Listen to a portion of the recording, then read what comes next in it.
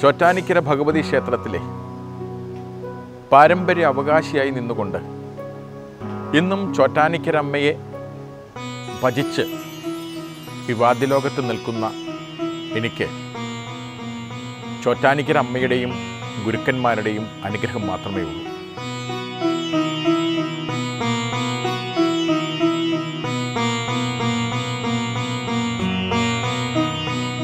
വന്ദേ मादरम् अम्बिगां भगवती।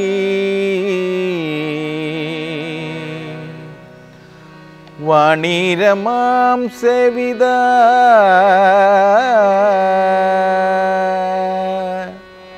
कल्याणि कमनीयकल्पलदिगा कैलासनादप्रिय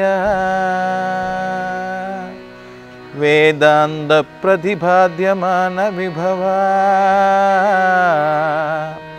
विद्वन्मनोरञ्जिनी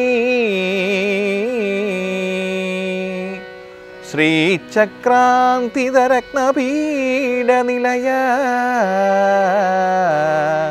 श्रीराजराजेश्वरी।